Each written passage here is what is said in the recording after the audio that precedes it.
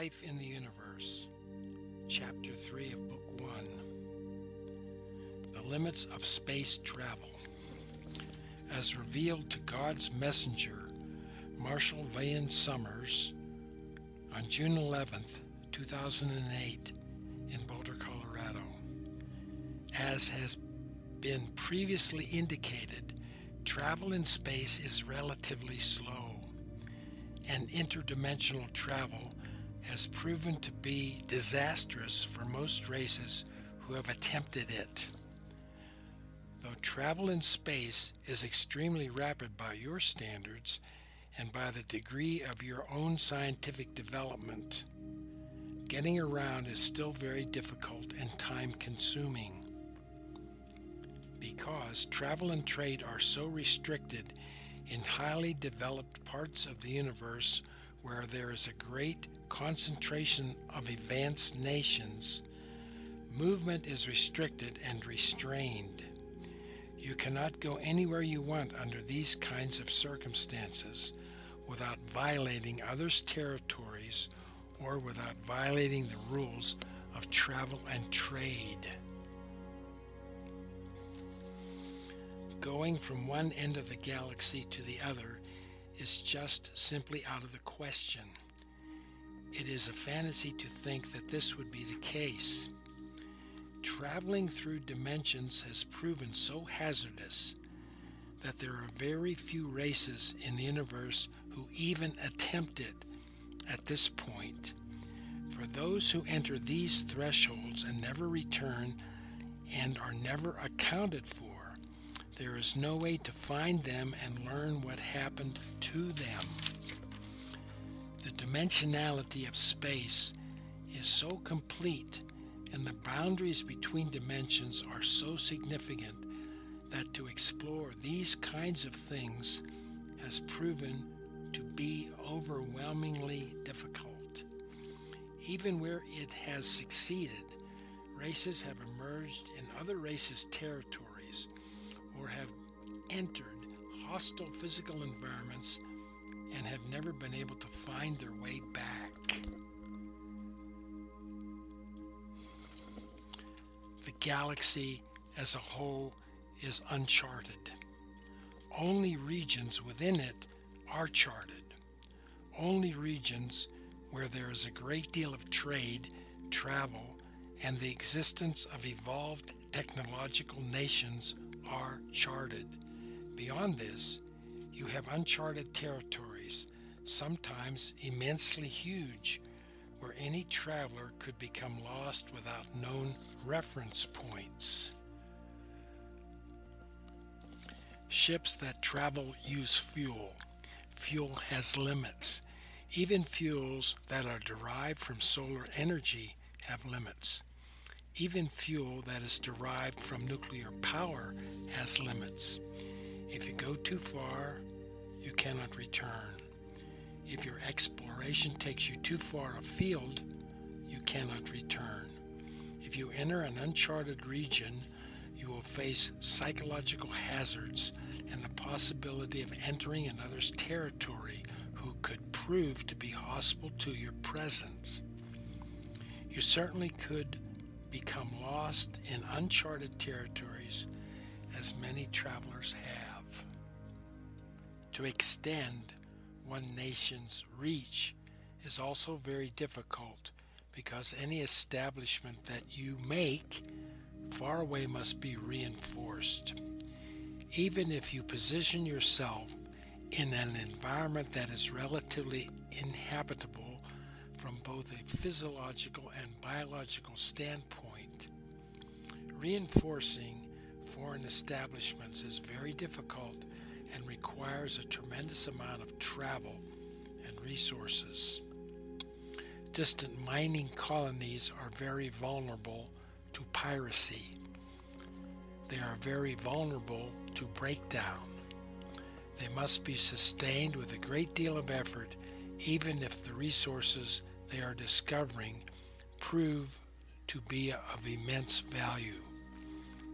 As a result, most traveling nations stay fairly close to home and rely upon trade to gain distant resources and rely upon local commerce to gain what they need. Of course, human beings with their wonderful imaginations conjure up all kinds of wonderful ways to travel around the universe almost effortlessly, using energy that is somehow derived from physics and can sustain unlimited travel, even collapsing time and space. But for those who live in the real universe, they have had to face the limits of technology. In some cases, these limits are quite severe. Races travel generally create their own food sources. But even this requires the input of resources. Everyone in the psychological realm must still eat and take in energy in one form or another.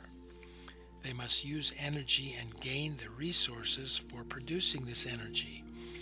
They must rely upon technology which must be reinforced and supported.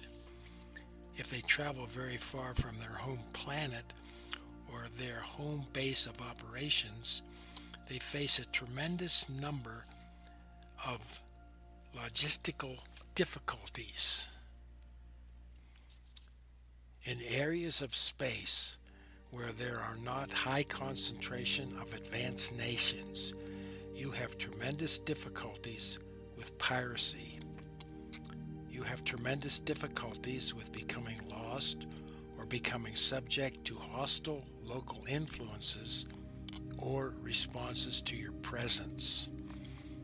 There are regions in space that are simply considered too dangerous to travel in because of these reasons. Even areas that are sparsely inhabited where routes and coordinates have been established for travel. Even here, there are extreme hazards. Over the course of time, nations and even small empires established a stability that they maintain and sustain on their own base of resources and influence. There is no great empire that rules the galaxy. That is complete fantasy. There are very strong local powers and associations of power, often established through trade unions or governing bodies that oversee trade routes. But immense empires that govern vast regions simply do not work for there is no way to maintain control over the course of time, and there are too many challenges to disrupt a structure of this size. Yet, there are empires that contain dozens of planets, star systems, and so forth. This is considered fairly large, particularly in your local environment in the universe, if you extend your influence, you must control that influence and you must sustain that influence. Must sustain it through technology. You must sustain it through resources. And you must sustain it through constant effort to maintain foreign establishments. Beyond a certain point, this proves to be too difficult, too draining of a nation or even a collection of nations to support and to sustain. As a result, there are large regions of the galaxy that have been unexplored and rarely ever visited by anyone. Though there are races existing within these regions, they tend to be non technological. If they are technological, then they tend to be extremely limited in their range. Unable to trade or gain advanced technology from other nations through the avenues of trade and commerce, they remain extremely isolated. This is the universe that you live in, a universe of magnificent creations, but also a universe of tremendous restraints. Resource acquisition is a problem for all advancing nations. Technology requires resources. The greater the technology, the greater the resources that are required. The larger one's sphere of influence, empire, or ownership of property, the greater the requirement for resources. Nations that are forced to depend upon trade lose much of their self determination in the process. Unable now to provide for themselves adequately, they must rely upon foreign provisions as well as foreign political influence to sustain them. For a nation that seeks to be free and self sufficient, the problem of trade and dependence upon others is extremely great. That is why the three fundamental requirements to be free and self sufficient in the universe are unity, population, self sufficiency, and extreme discretion. If you have wealth in the universe, others will want it. They will either want to take it from you or they will want to trade for it. If they trade for it, they will try to seduce you or convince you that what they have to offer is something you really need, even if you do not really need it. The problem with having wealth, whether it be biological wealth, technology that others do not have, ownership of a strategic world, or, as in the case of the Earth, a world of tremendous biological diversity is that maintaining control is difficult if others are. This becomes impossible if you depend upon others for your fundamental resources. Where there is trade, there is influence. The extension of influence in the greater community has reached very great degrees of sophistication and potency. For a young emerging race such as humanity, the greater community represents a very hazardous environment. The wealth of your world, from which you have benefited for so long and from which you are you benefit today, gives you a greater vulnerability to foreign interest and influence. And because humanity is so easily influenced by greater community standards, this puts you in tremendous jeopardy. Therefore, your expectations of trade and travel must be constrained by the realities themselves. You will be able to travel freely within this solar system as long as you do not try to discover anyone's foreign establishments here. But if you move beyond this solar system, you are entering a larger arena of intelligent life where territories and routes of travel have been long established. You will not be able to go wherever you want, to visit wherever you want, or to take whatever you want. The idea that humanity will go out and search an empty universe for resources is completely false and really represents a very dangerous and even fatal assumption. As long as you are weak and powerless, others will not try to defend themselves against you. But if you become aggressive and ambitious, then you will run into tremendous problems. For in the environment of space in which your world exists, there are long standing contracts and arrangements that you will not be able to change. Should you violate them, you will have to face a whole array of opponents far beyond your skill and ability to contend with. That is why maintaining self sufficiency on Earth is so fundamentally necessary to preserve humanity's freedom and self determination. If you can thwart inappropriate interventions in the world, provide for yourself adequately, not be overly greedy or ambitious, and be satisfied with the splendor of what the world provides you, then you can have great immunity here and others will respect this. But if you continue to violate the world, destroying its fundamental resources, using up its wealth, creating greater instability and conflict, and driving the life sustaining biological systems into instability, then others will feel compelled to intervene, intervene here to save this world for themselves. Indeed, this is what is happening today. Do not think then, should you deplete the world, that you will be able to go out and get whatever you want from other splendid worlds such as this, for they will be inhabited, controlled, or overseen by others, and you are in no position to mount a conflict with other nations in your region. In well established and well inhabited regions of space, war is very rare.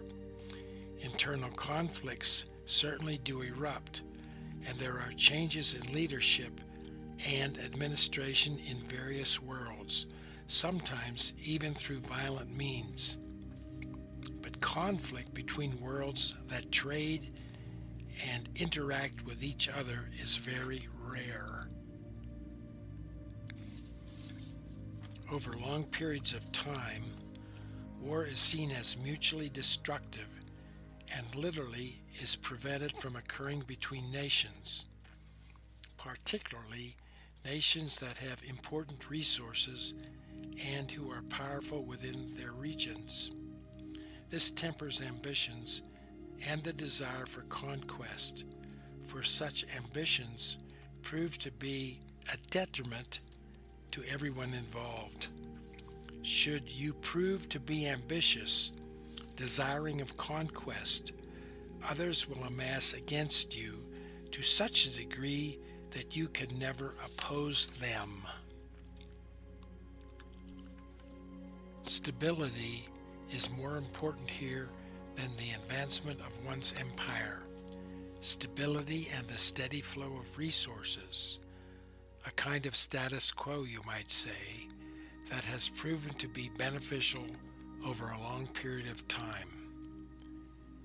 For a young, aggressive race such as humanity, it is hard to understand this.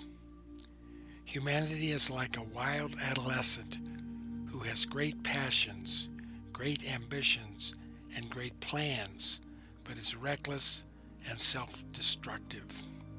Humanity has not yet emerged into a mature environment where such passions and recklessness are not tolerated. You live in a universe full of restraints. It is not a place where there are no limits, where you can be anything, do anything, harm anything, gain anything, or conquer anything. You must understand this. Even in a sparsely inhabited region of space, you would not be able to do this for long. Your neighbors are powerful. You do not want to fight against them. It will be enough to protect the borders of your world from inappropriate intrusion from resource explorers and economic collectives from opportunistic groups who want to establish influence here and want to establish trade here. To protect your borders will be difficult enough. No one is going to come and take the world by force unless you prove to be so aggressive, so destructive, and so destabilizing to the local region of space that you prove to be too great a security problem for other worlds. However, the possibility for this is long into the future, and humanity has great problems here to face at home. Problems which will determine its ability to unite and to remain viable stewards of this world. You have the great ways of change to face and all that this will require of your nations and your peoples. You have to offset the intervention that is occurring in the world today, that is being carried out by resource explorers, by groups that are not well respected in this region of space by those who travel around trying to take advantage of whomever and whatever they can. These groups do not represent established worlds or established powers, for these powers do not conduct their affairs in this manner. You can see here how humanity has not established its collective maturity and has not reined in its destructive tendencies and its ambitious behaviors, its greed, and so forth. You can see here that you are like a wild teenager, but you live in the neighborhood of established adults. Yet there are predatory forces in your local universe who will try to take advantage of your recklessness and your naivete to their own advantage. We, we shall speak of this in later teachings. For now, you must come to accept that there are severe limitations to what humanity can do in your local universe. As you grow and expand, if you are able to withstand the great waves of change that are occurring in your world. Will have to contend with other races who have been established for a very long period of time and who have established rules of engagement, rules of travel, and rules of trade that have taken a very long time to establish and that are well fixed. You have to grow up and become responsible. And if you can, maintain as much self sufficiency in this world as possible. For if you lose your self sufficiency, you lose a great possibility and the promise of being a free and independent race. To become part of larger networks of trade, you will be influenced by these networks and they will determine to a great degree what you can do and what you cannot do. Will have to pay a very high price for engaging in trade with them, for they will influence you and, in certain cases, try to take advantage of you. You re- represent a newcomer, a weak and unstable race, a race that is easily persuaded and manipulated for even very stable nations will seek to take advantage of weak emerging races such as your own for their own benefit and stability. Such is the nature of life in the physical reality. Whether you are a native living in the world or whether you are living in an advanced nation in the universe, it is the same reality. It is the same problem of competition and survival, of persuasion and influence. The rigors and difficulties of manifest life do not end by cultivating advanced technology. In fact, cultivating advanced technology complicates your life, makes it in many ways more difficult and more challenging, and invites the interest and influence of others who you must then contend with.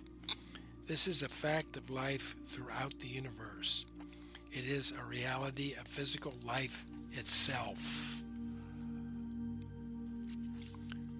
The wealth that you have, you do not want to flaunt.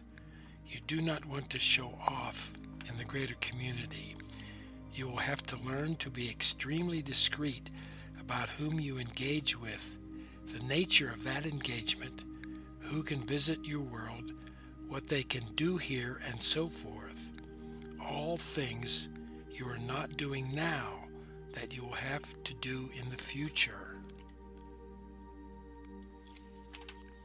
It is like growing up as an individual person, young and reckless, thinking you can be anything, have anything, and do anything, being out of control and unaccountable.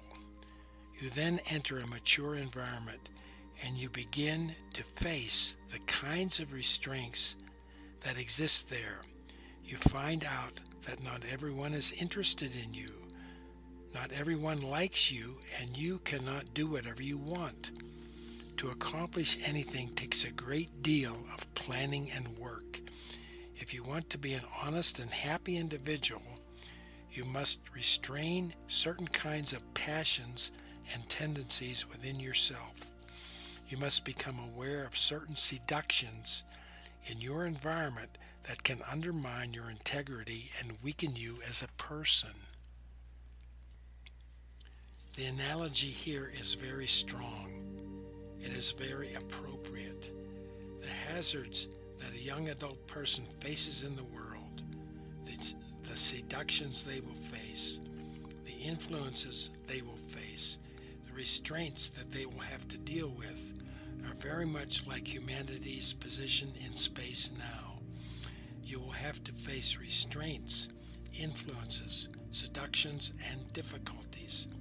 And yet, as growing up for a young person is necessary, important, and holds some great advantages and opportunities, so growing up as a human family holds great advantages and great opportunities.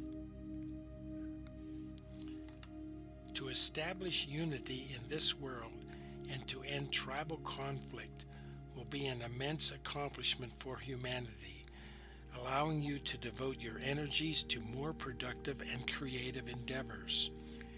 Being part of the greater community, you will learn wisdom from the greater community. Wisdom that will enhance you both on an individual level and on a collective level.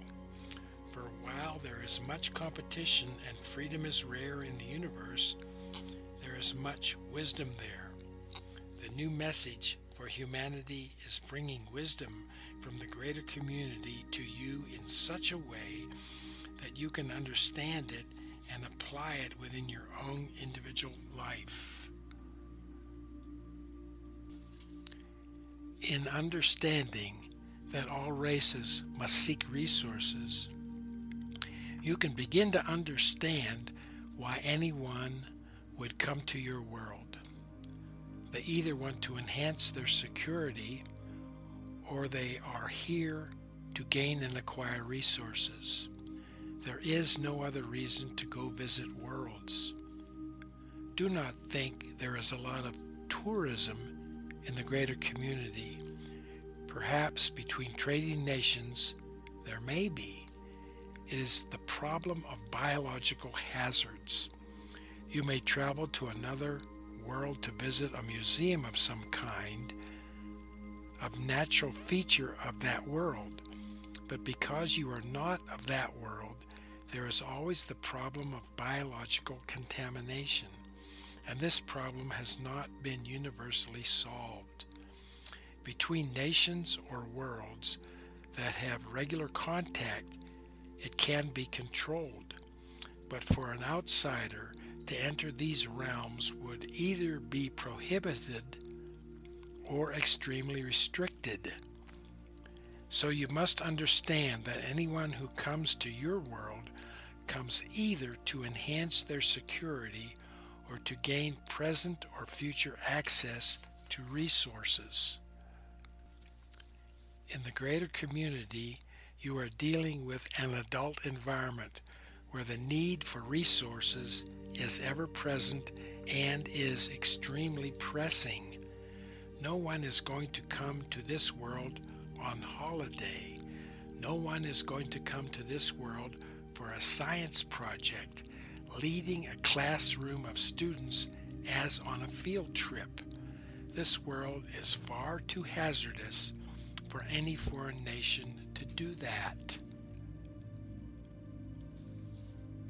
You can see here already the degree to which your assumptions and expectations are out of keeping with the reality of the situation. How your expectations regarding contact with extraterrestrial life in the universe must really be based upon a different foundation, and that there are criteria that must be created in order for this contact to be really beneficial to everyone involved. You must then look at the stars not as a place of escape and not as wondrous environment where you will be free of the difficulties and restraints of life here on earth. You must look at the stars and space not as a refuge, but as a representation of life on a larger scale. Much of what you face here on earth you will face in space, but on a much larger scale and in more extreme ways. For example, the lack of freedom that exists in many parts of the world will be even more extreme in the greater community. The strenuous struggle for resources that you experience in the world, particularly amongst poorer people, will be more extreme in the greater community. The need to control societies and individual behavior is more extreme in the greater community. The problems in trade, travel, and negotiations are more extreme and difficult in the greater community. The necessity to restrain war and conflict is more extreme in the greater community. The greater community is a bigger version of your life here, bigger in all ways. The problem of maintaining physical health is more extreme in the greater community, where you are confronting beings who have evolved in completely different biological environments or who have evolved in sterile environments. The problem of contamination is extreme. Someone could come to this world, contract a virus or set of viruses, take them home, and infect their entire planet, wiping out most, if not all, of the inhabitants of that world. That is how potent the problem of contamination really is. Advanced medical technology has not erased this risk. The care that one must bring to one's life and affairs is more extreme in the greater community. The problem of getting around is more difficult in the greater community. The problem of getting along with others who are different from you is more extreme in the greater community because the differences between you and them are so much greater. The problem of communicating to others is more extreme in the greater community where differences in nature, temperament, and appearance are so great. Therefore, do not look to the stars as an escape from life. do not look at the prospect of space travel as a wonderful adventure into uncharted and uninhabited regions. Do not think that you can go anywhere you want and that you will develop over time a technology for traveling quickly through all the dimensions of life, zipping around the universe as if it were your own neighborhood. do not think your conveyances will take you anywhere you want in the blink of an eye. Such solutions are to be expected from young races full of imagination and hopeful expectation, but they do not fit into the reality of life as it has evolved over a much longer period of time. There are nations in your local universe that have been in existence for 20 or 30,000 years. They have established a level of conformity that is very strict. They are not engaged in social innovation, and most of them have no notion of what individual freedom whatsoever. You would find living with them to be extremely difficult, if not intolerable. Free nations are rare and very distinct. They do not travel around trying to plant their flags in other worlds. They engage in planetary commerce. It is to a very limited degree, and they do not welcome visitors to their worlds. They remain isolated and discreet and guard their boundaries very carefully. As we have said at the outset, much of this revelation will be different from your ideas and perhaps very disappointing to your expectations, even to the point where you will not want to accept what is being presented here. You may still want to have your hopes and your dreams and your fantasies.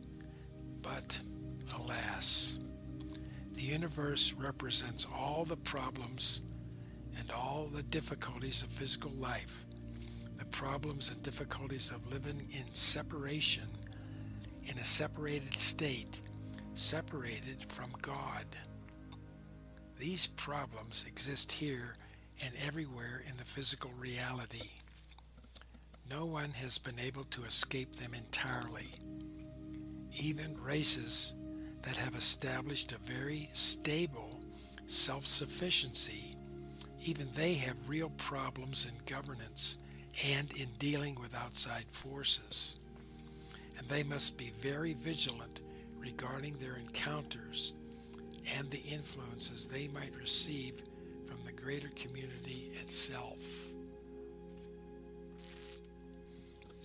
So, emerging into a greater community of intelligent life, you are emerging into a vast and complex demonstration of life that is in many ways similar to what is required of you here on earth.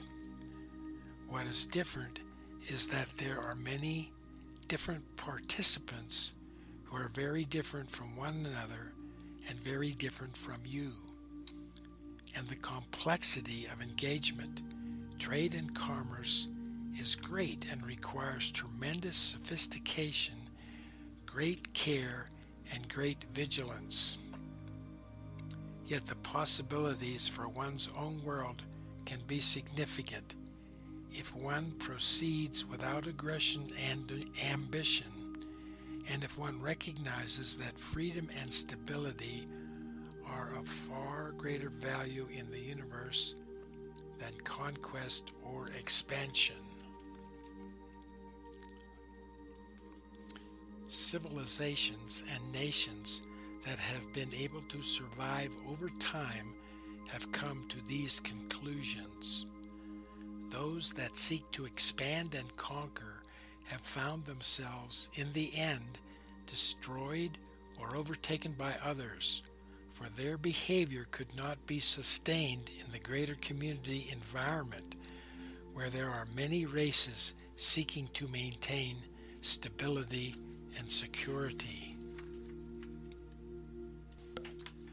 The greatest threats to even the most established nations in the universe are the loss of resources, biological contamination, and environmental collapse. These three things affect the behavior of stable and evolved nations more than anything else. While war and conflict are rare in many regions of space, competition and influence are abundant. And this threatens the sovereignty of nations and their access to necessary resources. Therefore, what concerns the established nations in your neighborhood in space are different from what preoccupies the nations of Earth, who are focused on growth and expansion in a world of declining resources. Your circumstances will require you to mature or fail. Stability and security will become ever more the emphasis of your peoples, your nations, and your leaders. The idea of conquest will become ever more dangerous, destructive, and counterproductive in your affairs with one another. And the need to secure your resources will become the predominating focus of this century and of the times to come. It is because you are emerging into a greater community and because you have grown in the world to such a degree that this emphasis now becomes your focal point.